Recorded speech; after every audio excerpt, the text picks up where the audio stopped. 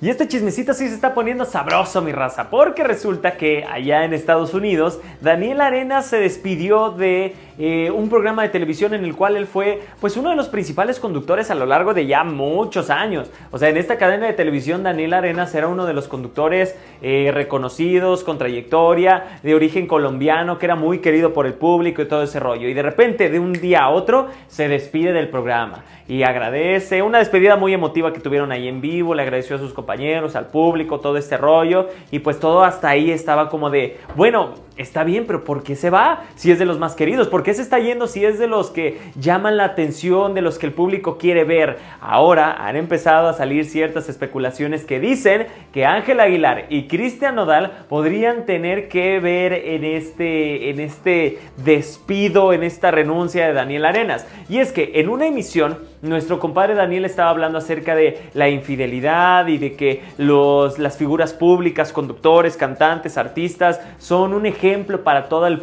para todo el público, para todas las personas, entonces deben actuar de manera correcta y que la infidelidad se le hacía pues una acción que no hablaba muy bien de las personas, ¿verdad?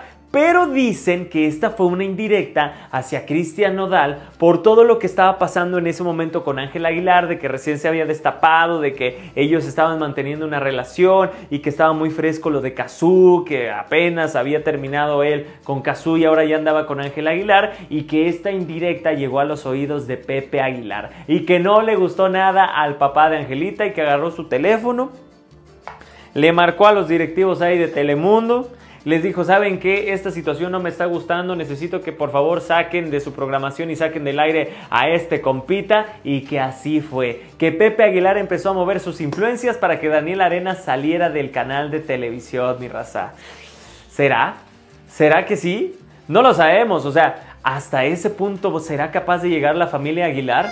¿Quién sabe, raza? Porque sinceramente sí, es un chismecito que llama mucho la atención y que está dando de qué hablar allá en Estados Unidos y ya no solamente ahí, en todo Latinoamérica. Así que, Daniel, pues aquí en la mejor Cuernavaca tenemos un espacio, ¿no? Sí, sí se tiene o no. Sí, sí se tiene, ¿no, carnal? Aquí te recibimos con los brazos abiertos y ya nos echamos un café, nos comemos un pollito y platicamos acerca de todos esos chismecitos que van a estar, mira, como pan caliente, mano, recién saliditos del horno. Así que ánimo, mi raza, usted siga disfrutando de sus chismes aquí nomás con nosotros en la mejor 97.3.